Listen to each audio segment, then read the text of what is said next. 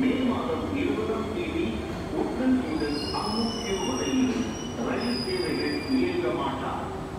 மே விவரங்களில்